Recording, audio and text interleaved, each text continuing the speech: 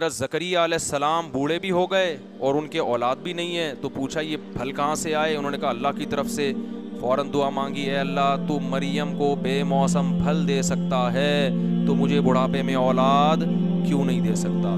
तो बुढ़ापे में अल्लाह ने आपको याहिया सलाम दी। और अजीब बात यह है कि इतना मुबारक ख़ानदान जिसकी कुरान तारीफ़ें कर रहा है।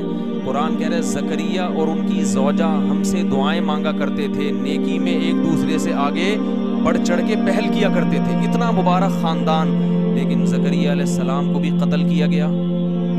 सर पे आरा रख के चला दिया गया यहिया सलाम को भी कत्ल किया गया।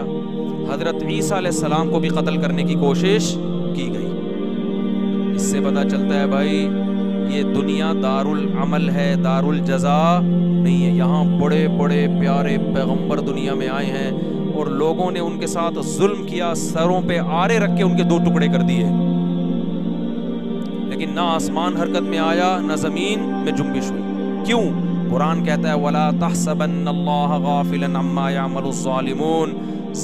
जो कुछ कर रहे हैं, अल्लाह को गाफिल मत समझो। इन्नमा युखिर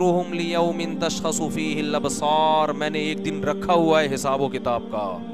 वरना सोचो कुरान जिन पैगम्बरों की इतनी तारीफें कर रहा है, उनके कातिल कितने बदबख्त होंगे? कितने बद...